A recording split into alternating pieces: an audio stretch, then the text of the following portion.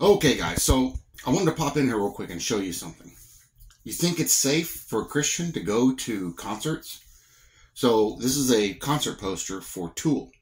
Um, I've actually heard them before. They came out. Oh no, it wasn't them. Oh, it might have been them. No, it wasn't them. They didn't come to Iraq. It was a different one. But um, um, I've been near and, and at uh, some uh, over the years. Mainly when I was younger. I didn't do it anymore because I just couldn't stand how loud it was. But um, uh, Christians shouldn't be going to concerts. Now, a lot of people will say, well, there's no, no harm in that. Well, look at this poster. This is the poster for Tool. This just popped up in my YouTube feed. And it's going to be happening in Corpus Christi, Texas on January 30th. No, I will not be going. But the what caught my, caught my attention was this, this image. So this is a skeleton that has eight arms. It's got a big, tall crown on its head. It has three sets of eyes. And I saw this and I was like, I know who this is. This looks like Shiva. Now, Shiva, the goddess Shiva, Hindu god, is a minor, tep- typically minor god.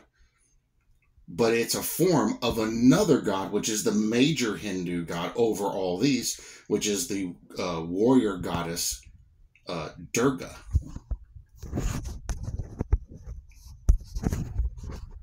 I'm going to show you something here uh, that proves that that's what that is. So these guys are into Hinduism, obviously. So the goddess Durga, the Hindu goddess with eight arms, is often depicted as goddess Durga. She is a warrior goddess who is seen as the embodiment of the collective power of all the gods and goddesses.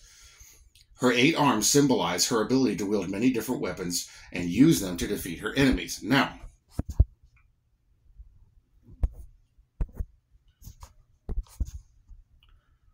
So let's go to some images and let's take a look. Now, this is typically Shiva right here. But this is also Durga. They're all connected. They're all the same thing. But what I, what I want you to notice here in some of these pictures is, look how tall the crown is. Remember on the poster? That big tall crown? Here, look at the arms. But notice it doesn't show three sets of eyes. Well, let me get to the right one here. And I'll show you how those are actually depicted. Well, come on, help me out here. Where's it at? I'm trying to get a close up. Okay, I can zoom in. Okay. So, so you can see here, this is actually all the different Hindu gods all coming together in this one Hindu god, Durga. But look at the eyes. So there, you see her normal eyes. That's one set of eyes. Do you see the one in between her eyes, the dot? That's another another eye. See the dot above that dot? Won't let me go any further. That's another eye. So when you count the the eyes, like even the third eye, it, when they talk about that in the center of your forehead is a single eye, it still counts as two eyes because you see with two eyes. So the normal set are two, but each other eye that they have is considered a set of eyes.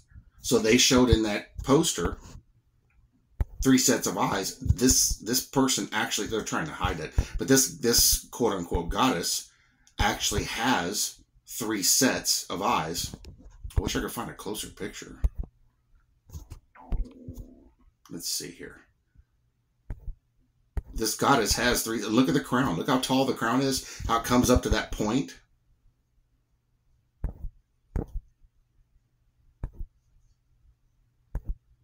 I could zoom in on picture.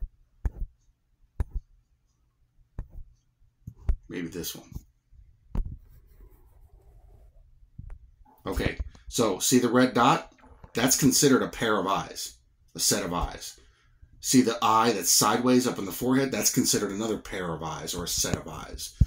So this image here is Durga.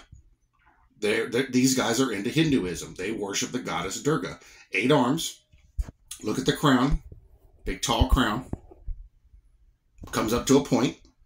Look at the decorations on it and everything, just like the pictures we looked at. And there's three sets of eyes. And so you have the normal set. Then you have the set, the red dot, which is the set up there. They even have red on either side of them to signify that they're the red dot.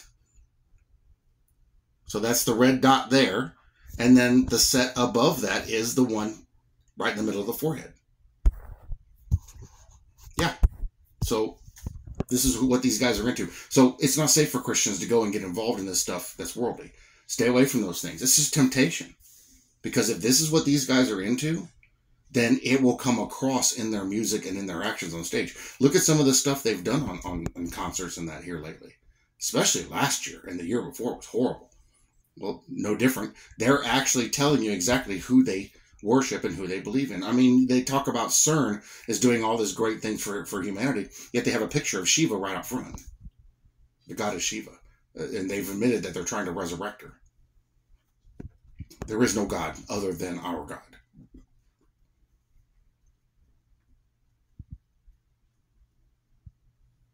But they're not even hiding it. They're they're because they they they they're hoping people are going to not pay attention and not see it.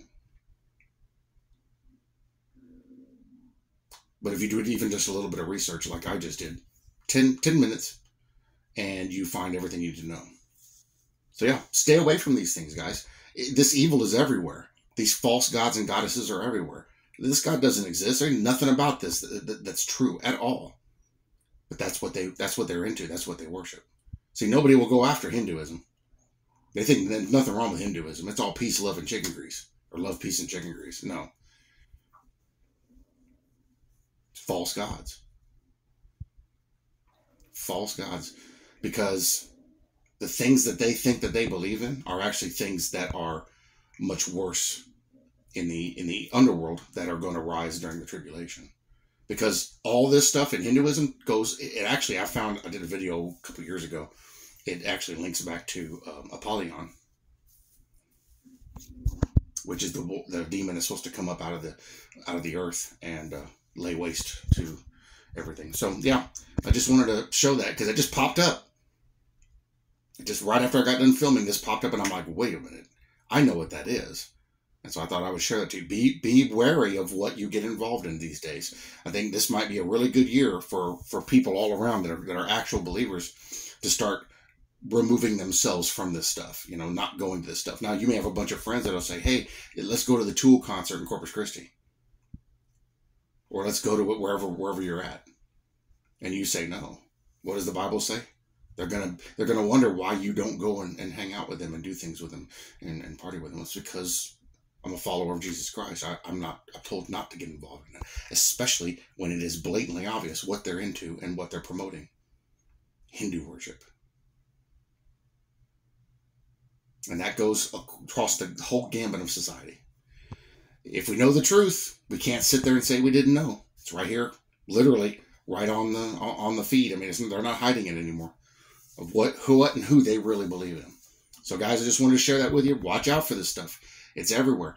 It's it's a good idea to do a little studying and be versed up on this. And when you find stuff like this, search it. Search for it. See if it's something that's involved with something demonic. And if it is, stay away from it. Don't have nothing to do with it. Don't get close to it. Remove yourself from those things. Because what that'll do is that'll show the world that you're not like them. And it'll show the Lord that you've chosen him.